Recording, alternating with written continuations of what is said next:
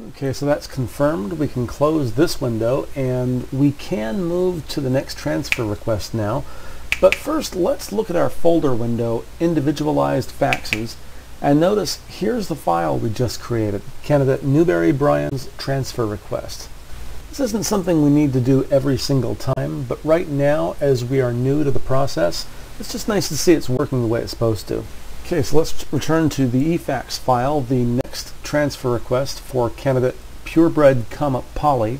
Uh, just like with candidate Newberry Brian, once again, we want to separate this into its own separate file.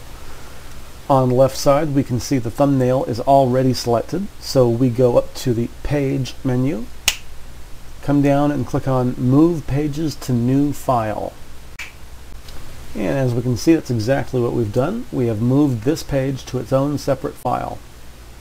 Go ahead and do a File, Save As, navigate our way to the folder I'm using. That's the eFax, then Individualized Faxes, and here we are. So here we have candidate purebred, comma, Polly, dash tr for transfer request, dash SD.0900234 dash 03.05.09 and click Save.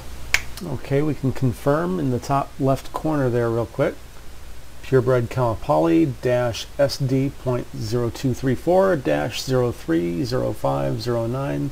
Okay, we can close this one. And that leaves us with candidate McDonald comma Ronald.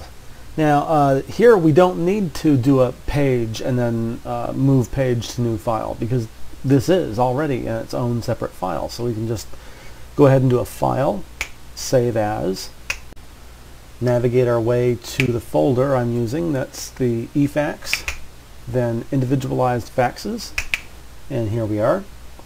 Uh, drop down to the file name field and we type the candidate's last name first. So that's McDonald, comma, Ronald, dash, tr, dash, SA.0900036, dash, 03.05.09, and we click Save.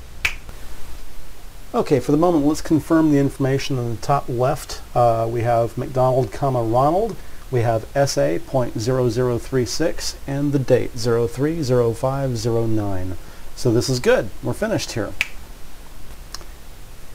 And if we go back to the uh, folder where we keep these guys, we can see all three of these have been done, individualized files. And uh, there's the three. We have Newberry Brian, we have Purebred Polly, and we have McDonald Ronald. Now that we've separated these three transfer requests into individual files, our next step is to upload these files to eExpress.